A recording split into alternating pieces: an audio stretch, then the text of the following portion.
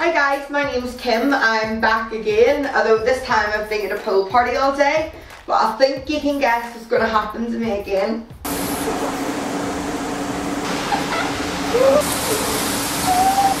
oh my god. well guys, as expected, completely and utterly destroyed. Girls who just love getting wet and messy. messyworld.net